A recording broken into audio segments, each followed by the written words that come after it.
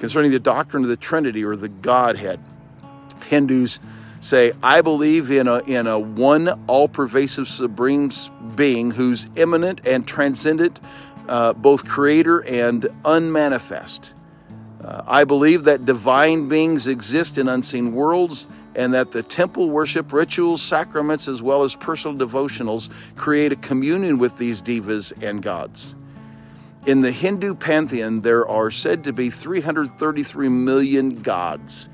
Hindus believe in one supreme being. The plurality of gods are perceived as divine creations of that one being, Brahman.